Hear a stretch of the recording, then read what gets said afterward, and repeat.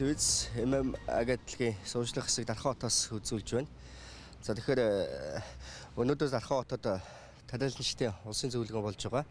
Тэгэхээр Монголын мэдээ суугийн явуулын станц 20 гаруй хүний бүлтгүүнтэй өнөөдөр 15 13 цаг 30 минутаас оройн 18 цаг хүртэл тариаланчдын улсын зөвлөгөөнийг шууд дамжуулан үзүүлэх болно.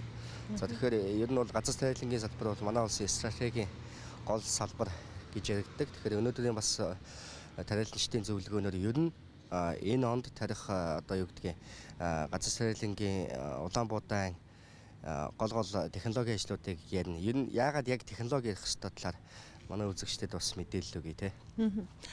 За Эрдэнэ булган бит хоёрын яг ингээд зогсоод байгаа энэ газар одоо ингээд газар тариалангийн салбарт маш түгээмэл ашигладаг сүүлийн үеийн дэвшилтийн техник хэрэгслийг бол 50-аас байгаа үзэгчид та бүхэн харж байна. За яг бит хоёрын ард харагдаж байгаа энэ Тархан уул аймгийн залуучууд театрт Монголын газар тариалангийн салбарт ажилладаг. За энэ салбартаа одоо үйл ажиллагаа нь хамааралтай байдаг эрдэмтэд болон төрийн бус байгууллагын за бодлого боловсруулагчид гээ нийтдээ 500 гаруй хүн бол Тархан уул аймагт улсын тариаланчдын зөвлөгөөнд оролцох гэж байна. За зөвлөгөөний нээлт бол 11 цаг 30 минутаас яг энэ Агра фарм шоугаар бол эхлэх гэж байгаа. Тэгээ өчигдөр бид нар бас тариаланчтай уулзаад ярьж байхад нэг сонирхолтой мэдээллийг өгчээсэн.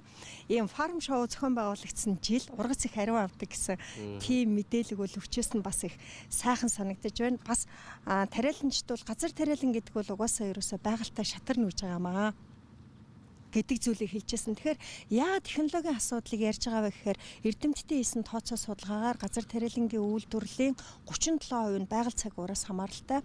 За үлдэж байгаа 63% нь бол хүний үйл ажиллагаанаас хамааралтай байдаг. Тэгэхээр сүүлийн жилүүдэд ерөнхийдөө гантай дэлхийн дулаар л явагдаж байгаа.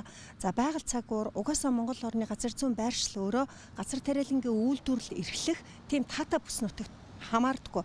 За үүний яг жишээвэл өнгөрсөн онд манай улс тодорхой хэмжээгээр ган болоод ургац салцсан. Тэгэхээр одоо ерөөсө газар тариалангийн үйлдвэрлэлийг багцаад хаамгаар дуршлагаар хөгжүүлэхэ болио. Технологи буюу тэр 63% дээр тохиргоо хийе гэдэг дээр тал талаас найдах биш те. Тий. А тийм учраас энэ 63% дээр хідүүлээ ерөөсө ямар асуудал байгаа даа. Энийг ямар шийдэх боломж байгаа гэдэг дээр ярилцъя гэдэг учраас энэ удаагийн тариаланчдын зөвлөгөөн өмнө зохион байгуулагдаж байснаас технологиг түлхүү ярилцахаараа онцлог гэж хэлж болно. Тэгэхээр бас үзэгчтэй нэмэлт мэдээлэл дуулгахад яг 11 цагаас эхлэх энэ фарм шоу дээр техник технологийн бас дэвшлийг танилцуулна. За очир нь манай улс бол байгалийн эсдэс хууль ашиглалтын бүсэд очдог учраас ер нь тэгэл тэг элдэншүүлэлтийн арга технологиг бас газар тариаланд нэвтрүүлнэ. Энийг ер нь стандарт тулгам үүснэ гэдэг асуудлыг бол энэ газар тариалангийн салбарынхан бол хэлж байгаа. Тэгэхээр яг энэ тэг элдэншүүлэлт гэдэг технологи юу болох, яагаад энийг энэ бас хуурай гандуу эцэс суур амьсгалтай ийм Монгол орны хувьд хэрэгтэй байгаа.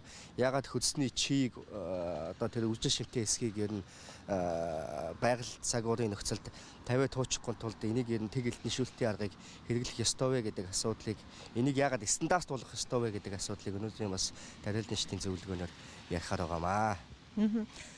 Аа 1959 онд Монгол улс татар газрыг эзэмшээд өөрөөр хэлбэл газар тариалангийн үйлдвэрлэлийг бол эрхэлж эхэлсэн байгаа. Тэгэхээр өнгөрсөн хугацаанд бол манай улс яг өнөөдрийн байдлаар нийтдээ нэг 700 гаруй мянганга эргэлтийн талбайтай.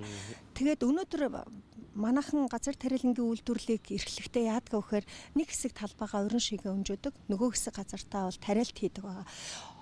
А харин эрдэмтдийн хийсэн тооцоо судалгаагаар газрыг хичнээн их хөндөх тусам газрын тэр өөрийнх нь хөрсөнд байдаг бүтэц алдагдаж, эрдэс үдс нь алдагддаг. Тийм учраас тэг элдэншүүлэх буюу газрыг хөндөхгүй технологиор тариалт хийх нь бол өнөөдөр Монгол орны хувьд хамгийн цогцтой арга.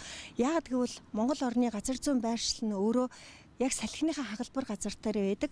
Тэрэн дээр хүний үйл ажиллагаанаас шалтгаалаад байнга ингээд хүчтэй техникүүдийг явуулаад хөмрөх технологиор газрыг хаглаад ах нь энэ нөх хөрсний бүтцийг алдагдуулаад байдаг учраас энэ тэг элдэншүүлэх технологи буюу сүрлэн хүчлагтай аргыг бол нэвтрүүлэх ёстой гэдэг зөвлөмжийг эрдэмтэд сүүлийн үед маш түлхүү өгдөг болсон байгаа. За тэгэхээр өнөөдөр Монголын мэдээс уухтай хамт байгаараа 15 цаг 30 минутаас бид тариаланчдын улсын зөвлөгөөнийг шууд дамжуулж эхлэхээр байгаа. За газар тариалангийн салбарт ер нь монголчууд цаашдаа ямар бодлого, ямар технологи, ямар стандарт стандарт нормыг баримтлах вэ гэдэг талаар дэлгэрэнгүй мэдээллийг газар дээрсэн шууд дамжуулж үзүүлэх болно. За